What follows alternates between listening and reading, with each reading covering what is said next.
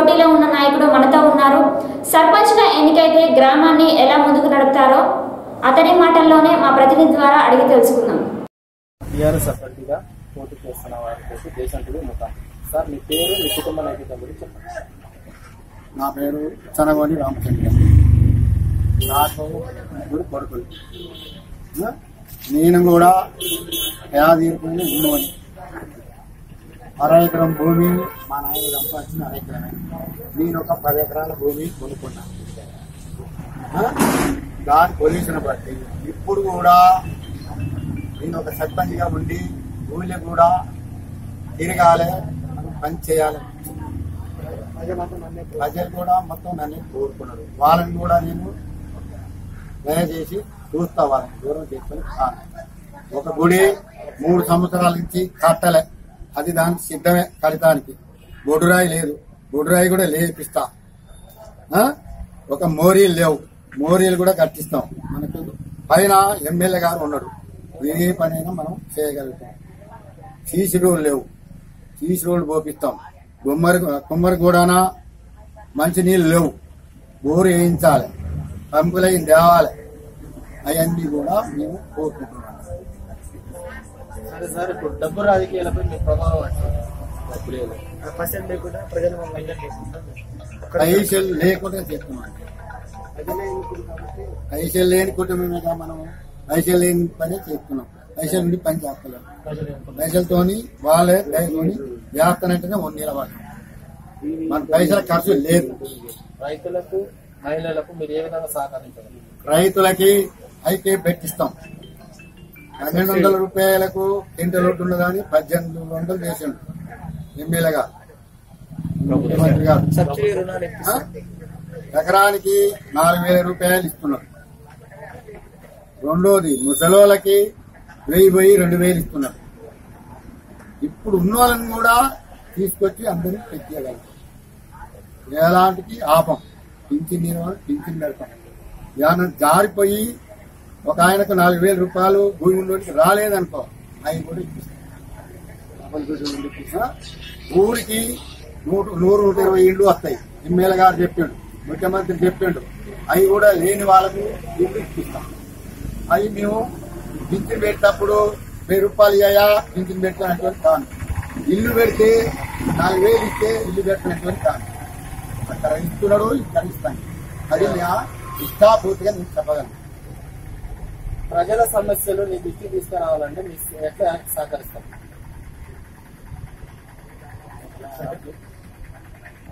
అందరికి కూడా చిన్న వాళ్ళకి కానీ ముసలి వాళ్ళకి కానీ ఏలాంటికి ఒక నల్లగొండలు పోయి ఉంటుంది కాను.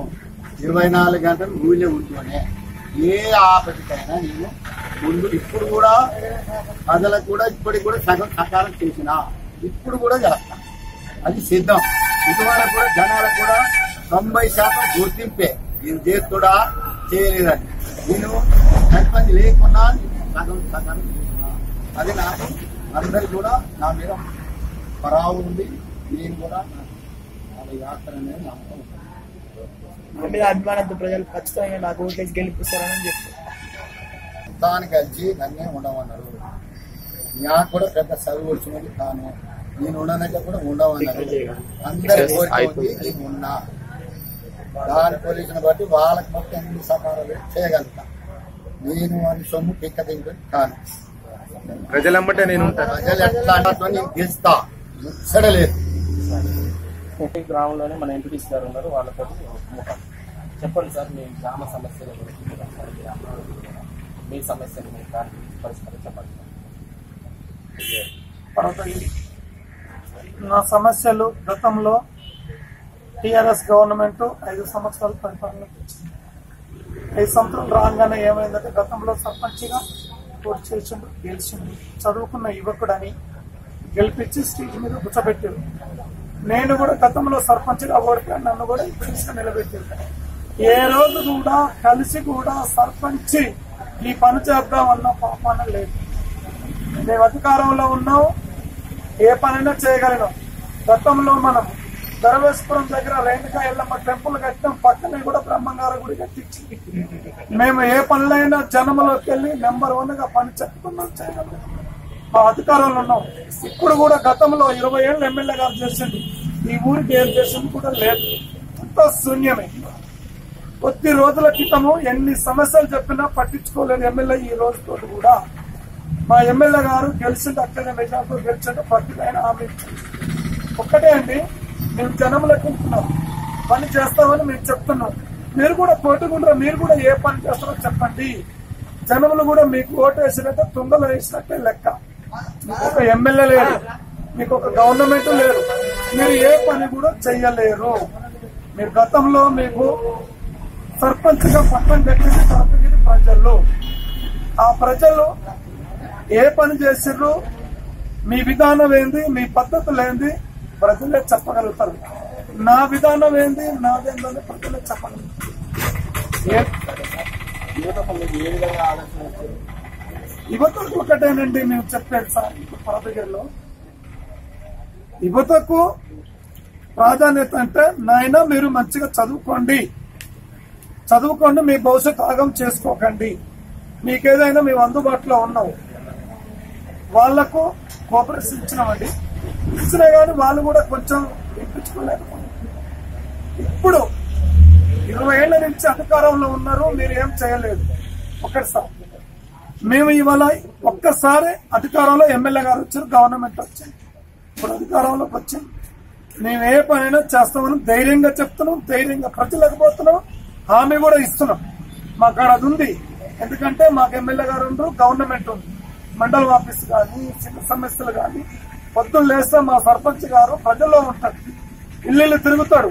నల్లగొండలు ఉండి టయానికి వచ్చి పోతే మా మా కాలానికి కాదు.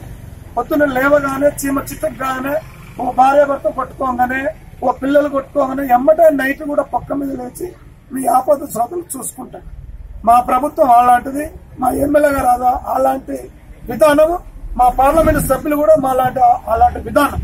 మేము చేసే పనులండి. విన్నారా? యువతకు మీరు ఉపాధి అవకాశాలు ఎలా ఇస్తారు? యువతకు ఉపాధి అవకాశాలు అంటే సార్ ఇప్పుడు ఒకటే నేను చెప్పేది. యువతకు వారికి కొన్ని కొన్ని గ్రంథాలయం కానీ లైబ్రరీలు కానీ విన్నరా? మా ఊరి సమస్య ఒక్కటేనండి. గతంలో చుట్టూ బొట్రాయి కానీ దేవాలయం బొట్రాయి కానీ దేవాలయం కానీ వేసారు ఆ పీడ మొత్తం ఈ పర్వతగిరిలో పడిపోయిందండి. జననష్టం ఈ- ఐదేళ్ళలో జననష్టం భారీగా జరిగింది.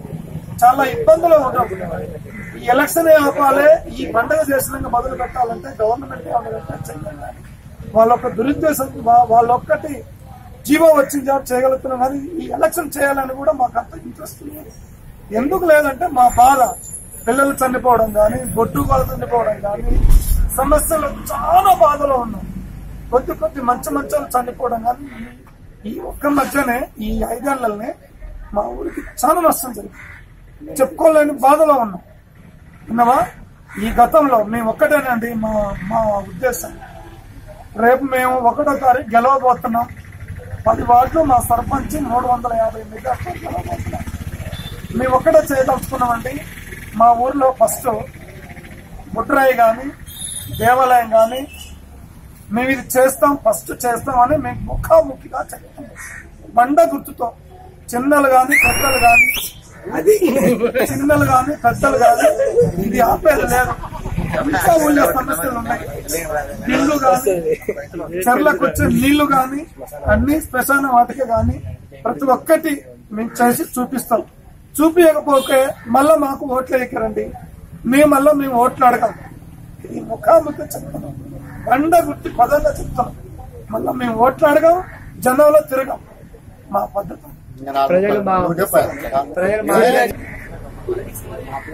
యాగండి ఈ పార్టీలో సీనియర్ కార్యకర్త నాకు అవకాశం లేకున్నా నా అనుకుంటాలను పెట్టుకొని గెలవడానికి ఎంతో కృషి చేస్తాను ఇప్పటికి కూడా మన అనుకుంటున్న పెట్టిన మన ప్రేమికాయల మధ్య ఆశస్సులతోటి మన కేసీఆర్ పథకాలతోటి మన ముఖ్య మన శాసనసభ్యుడు భూపాలరెడ్డి గారి ఆశీస్సులతోటి అఖండ మేకర్తో గెలిపించుకున్నాం. మీరు సీనియర్ కార్యకర్త అన్నారు కానీ గ్రామంలోనే మీ దృష్టిలో ఉన్న అతిపెద్ద సమస్య ఏమైనా ఉందా? దేవాలయం పెండింగ్లో ఉంది. దేవాలయం కూడా అది కంప్లీట్ చేయాలి. మా పెండింగ్లో ఉంది?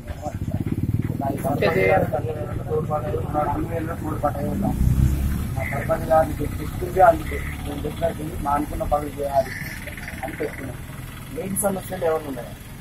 నీటి సమస్యలు ఉన్నాయి. మంచినీళ్ళు లేవు. ఉగ్రవాదం రావట్లేదు. రోడ్ల సమస్య ఉంది. దాని మీద సర్పంచ్ గారికి అన్ని వివరించి నడిపిస్తున్నాం